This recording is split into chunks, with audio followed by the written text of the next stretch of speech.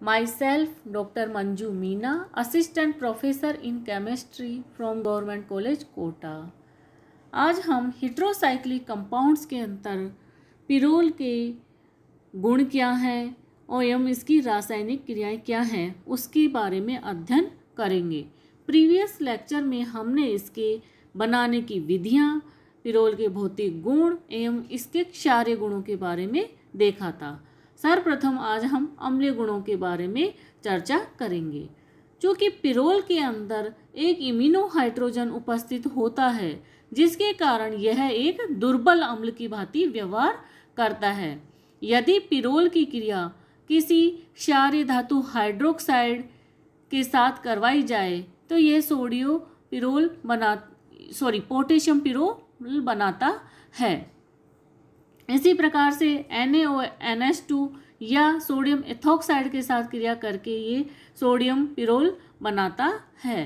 क्योंकि नाइट्रोजन और हाइड्रोजन में नाइट्रोजन की विद्युत ऋणता अधिक होने के कारण बंद के इलेक्ट्रॉन नाइट्रोजन की तरफ़ आ जाते हैं और नाइट्रोजन परमाणु निकल जाता है, जिस कारण से वहाँ पर सोडियम या पोटेशियम जुड़ जाता है। और सोडियो या पोटेशियो पिरोल यह बनाता है। सेकंड है, जब पिरोल की अभिक्रिया मैथिल मैग्नीशियम आयोडाइड के साथ करवाई जाती है तो इसका मैग्नीशियम आयोडाइड लवण बनता है और साथ में क्या निकलती है? मैथेन गैस यहाँ पर भी हम देखें कि नाइट्रोजन और हाइड्रोजन के बीच में जो बंध है वह नाइट्रोजन की विद्युत ऋणता अधिक होने के कारण नाइट्रोजन की तरफ़ इलेक्ट्रॉन आ जाते हैं और नाइट्रोजन पे क्या जाएगा? एकाकी इलेक्ट्रॉन युग्म आने के कारण यहाँ पर माइनस चार्ज आएगा यह C S three M G I methyl magnesium iodide से क्रिया करेगा। तो मैग्नीशियम और कार्बन में, कार्बन की विद्युत ऋणता अधिक है, इसलिए बंद कार्बन की तरफ़ टूटेगा। इस कारण से कार्बन पे कौन सा आवेश आ जाएगा? माइनस। और मैग्नीशियम पे प्लस आवेश आ जाता है। इसी कारण से मैग्नीशियम नाइट्रोजन के साथ बंध बना लेता है और इसका लवण बनाता है। और साथ में क्या निकलती है यहाँ पर? मैथेन गैस निकलती है। अब ये जो बना है हमारा मैग्नीशियम आयोडाइड लवण, ये यदि मैथेन आयोडाइड या R C O C L के साथ क्रिया करे तो क्या बनेगा क्रमशः इससे तो क्या बनेगा? एन एल्किल व्युत्पन्न बनेगा, जो कि गर्म करने पर टू एल्किल व्युत्पन्न में कन्वर्ट हो जाता है। इसी प्रकार से यदि हम इसकी आर ओ सी ओ सी एल के साथ क्रिया करवाएँ तो पहले एन एल्किल एन एसिल व्युत्पन्न बनेगा, और जो कि हीट करने पर टू एसिल व्युत्पन्न में बदल जाएगा। इस प्रकार से यह अभिक्रिया दर्शाती की है कि इसमें पिरोल के अंतर अम्लीय गुण उपस्थित होते हैं। इसी कारण से यह अभिक्रिया संपन्न होती है। थर्ड, हम देखें कि यदि पिरोल की क्रिया किससे करवाई जाए? फेनिल लिथियम से। तो क्या बनेगा? एन लिथियम पिरोल और साथ में बेंजीन बनती है। यहाँ पर भी हम देखें कि नाइट्रोजन और हाइड्रोजन का बंध टूटेगा और इधर की तरफ़ फेनिल लिथियम में, लिथियम की विद्युत ऋणता कार्बन से कम होने के कारण बंद किधर की तरफ़ टूटेगा? फेनिल की तरफ़। तो एन के साथ क्या जुड़ेगा? लिथियम और सी सी एस फाइव के साथ हाइड्रोजन परमाणु जुड़कर पेंजिन बनाते हैं। पिरोल का अम्लीय गुण निम्नलिखित तथ्यों के आधार पर भी समझाया जा सकता है। पिरोल में नाइट्रोजन परमाणु पर एकाकी इलेक्ट्रॉन युग्म के एरोमेटिक सटक में मिल जाने के कारण यह इलेक्ट्रॉन न्यून हो जाता है। इसीलिए एन एच बंद के इलेक्ट्रॉन नाइट्रोजन परमाणु की ओर अधिक मजबूती से बंधे रहते हैं। फलस्वरूप, हाइड्रोजन परमाणु प्रोटॉन के रूप में निष्कासित हो जाता है। सेकंड कारण है, पिरोल से पिरोल ऋणायन बन जाने के पश्चात इसका अनुनाद द्वारा स्थायीकरण हो जाता है। जैसे कि हम यहाँ देखें कि हाइड्रोजन के या प्रोटॉन के निकल जाने के कारण नाइट्रोजन पे एकाकी इलेक्ट्रॉन युग्म आने के कारण यहाँ माइनस चार्ज आ जाता है। यह एकाकी इलेक्ट्रॉन वलय की तरफ़ जाएगा तो यहाँ बंद बन जाता है और यहाँ पर बंद टूटेगा। तो यहाँ बंद बना हुआ दिखाई दे रहा है और यहाँ पर क्या एकाकी इलेक्ट्रॉन युग्म आ जाएँगे। फिर ये एकाकी इलेक्ट्रॉन यहाँ बंद बनाएँगे और ये वाला बंद टूटेगा तो यहाँ डबल बंद आ जाएगा और यहाँ पर एकाकी इलेक्ट्रॉन युग्म। ये एकाकी इलेक्ट्रॉन युग्म यहाँ बंद बना लेंगे तो और वापस से यहाँ क्या आ जाएगा? एकाकी इलेक्ट्रॉन युग्म इस प्रकार से अनुनाद इसके अंतर्गत पाया जाता है, जिस कारण से यह स्थायी हो जाता है और यही कारण है कि यह अम्लीय गुण प्रदर्शित करता है। अब हम देखेंगे इलेक्ट्रॉन्स ने ही प्रतिस्थापन अभिक्रियाएँ।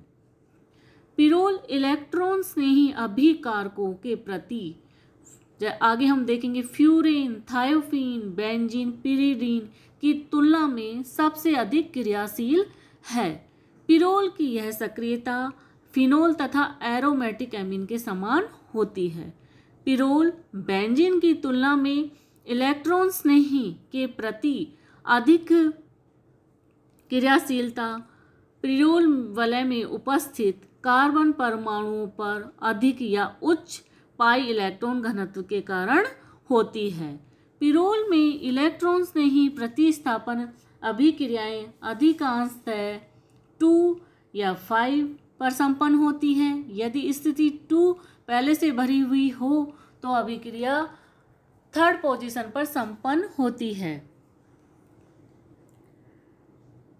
स्थिति थर्ड की तुलना में स्थिति सेकंड पर इलेक्ट्रॉन्स ने ही प्रतिस्थापन इसलिए संपन्न होता है क्योंकि इस स्थिति में, स्थिति सेकंड में क्या होता है कि जब हम देखें नंबरिंग हमने पहले देख ही चुके हैं कि सबसे पहले हिटरो एटम को नंबर वन मिलेगा। तो यहाँ वन टू थ्री फोर और फाइव अब इलेक्ट्रॉन्स नहीं प्रतिस्थापन अभिक्रियाएँ हों तो किस प्रकार से होगी?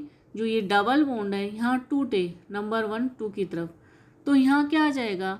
जो इलेक्ट्रॉन्स नहीं अभिकर्मक है, वो सेकंड नंबर की पोजीशन पे जुड़ जाएगा और फिर यहाँ पर प्लस चार्ज आ जाएगा, जो कि अनुनाद के द्वारा इस प्रकार से स्थायी होता है।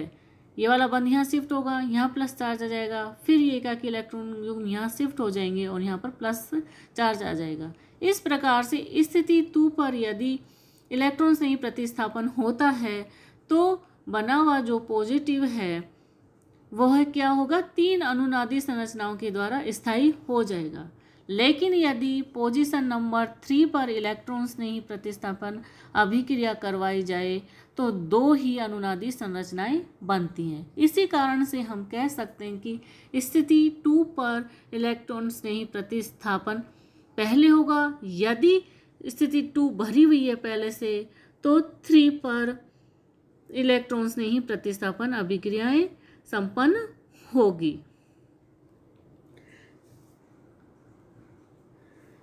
लेकिन हम देखें कि हेलोनियम आयन जैसे सक्रिय इलेक्ट्रोफाइल इसकी चारों स्थितियों को ही प्रतिस्थापित कर देते हैं और पिरोल में विभिन्न इलेक्ट्रॉन्स नहीं प्रतिस्थापन अभिक्रियाएँ निम्न प्रकार से हैं।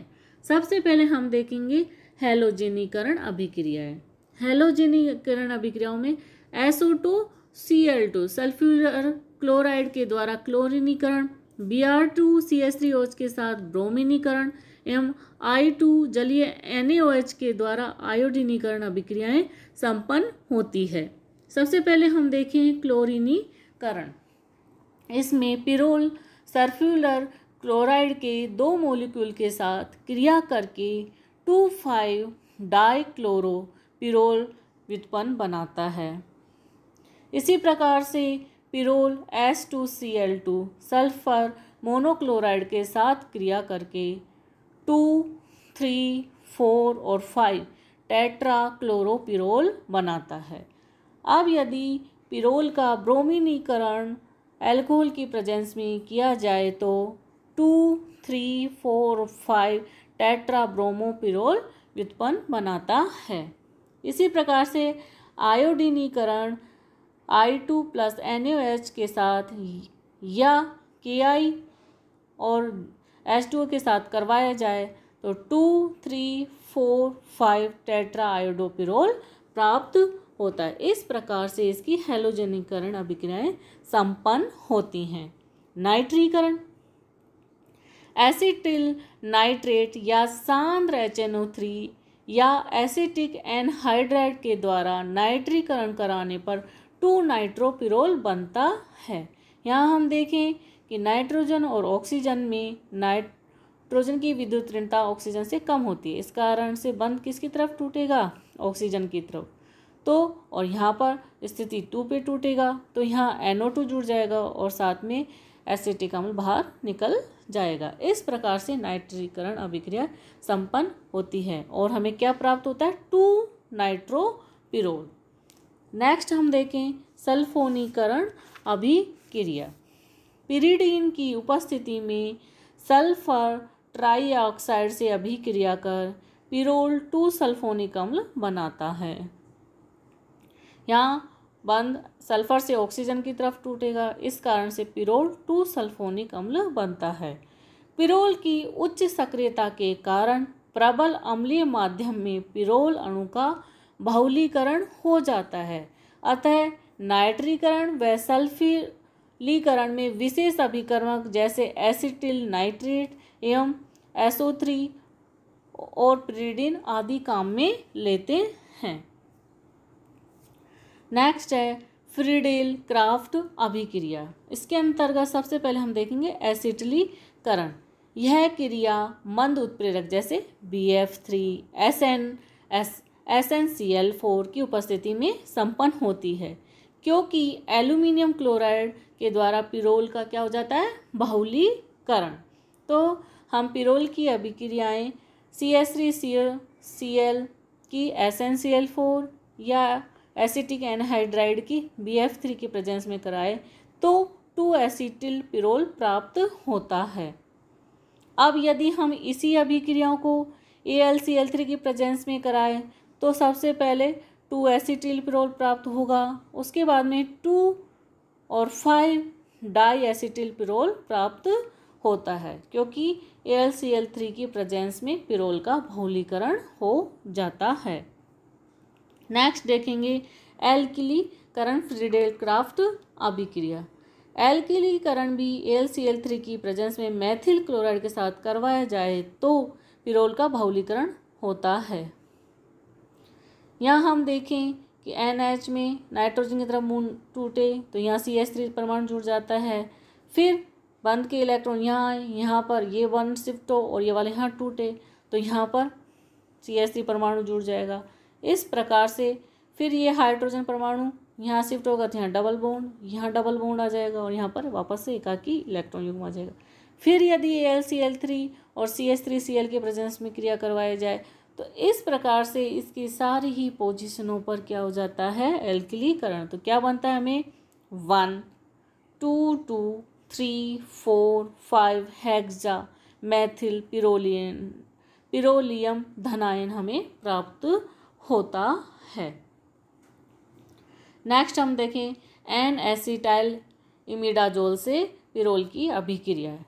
एन एसिटाइल इमिडाजोल यहाँ पर बंद कैसे टूटेगा? नाइट्रोजन की तरफ़ तो अभिक्रिया के द्वारा C double bond O C S three यहाँ जुड़ जाएगा और एच यहाँ जुड़ जाएगा। तो क्या प्राप्त होगा हमें? एन एसिटाइल पिरोल और साथ में इमिडा जोल अब हम इसकी देखें युग्मन अभिक्रियाएँ या कपलिंग रिएक्शन बेंजीन की तुलना में पिरोल डाईएजोनियम लवणों के प्रति अधिक क्रियाशील होता है। यह सोडियम एसीटेट की उपस्थिति में बेंजीन डाईएजोनियम क्लोराइड के साथ युग्मन अभिक्रियाएँ प्रदर्शित करता है।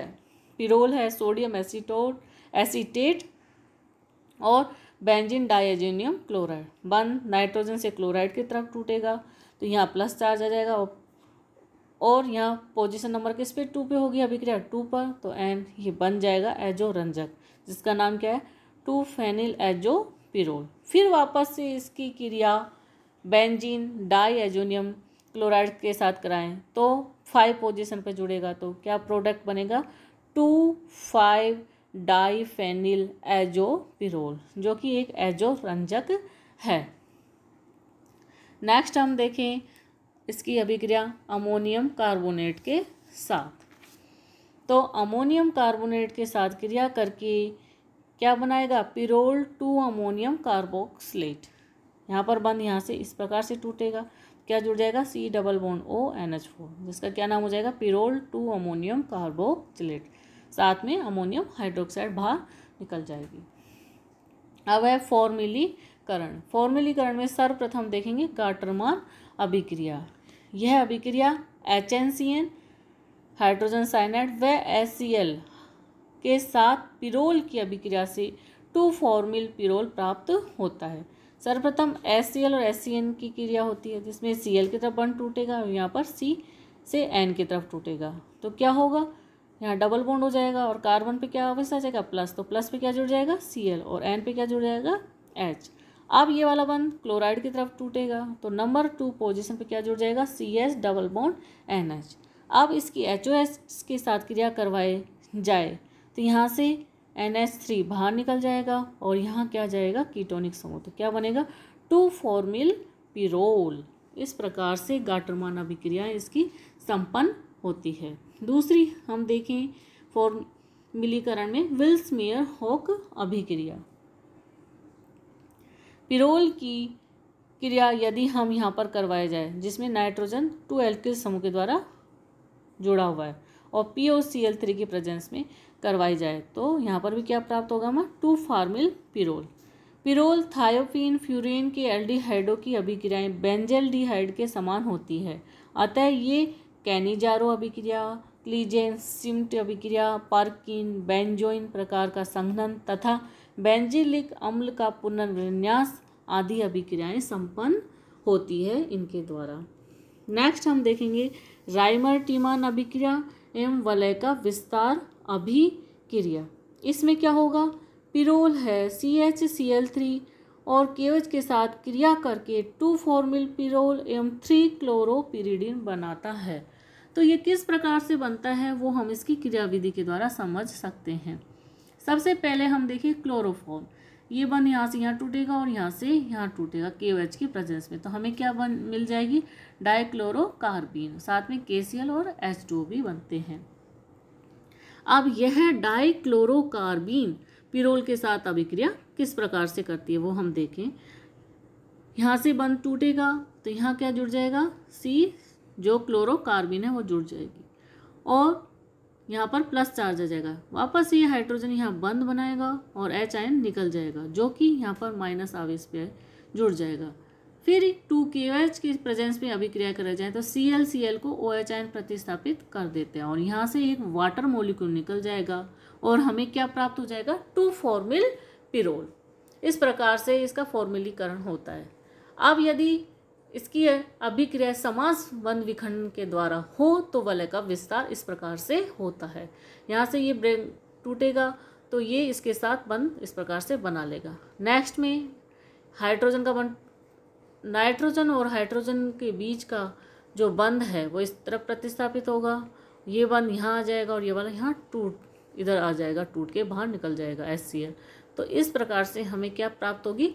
थ्री क्लोरोपिरीडीन इस प्रकार से यहाँ पर वलय का विस्तार होता है। नेक्स्ट हम देखें इसकी कार्बोक्सलीकरण अभिक्रिया। तो कार्बोक्सलीकरण अभिक्रिया में क्या होगा?